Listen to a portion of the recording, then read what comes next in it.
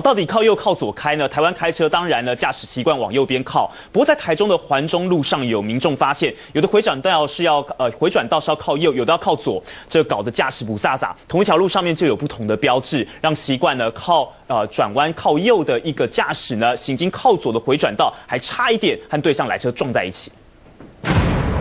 车子行经回转道，到底是要靠左还是靠右呢？回转靠右，但奇怪了，地上的标志怎么是反方向呢？搞得驾驶不飒飒，停在中间犹豫了好几下。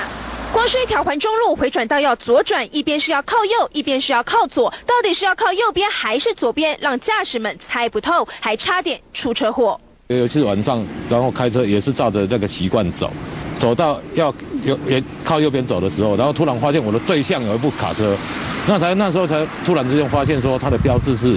我应该是靠左边走。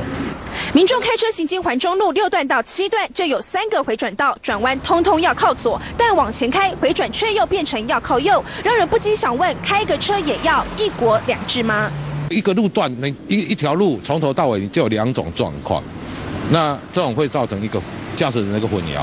我到底要靠左边还是靠右边？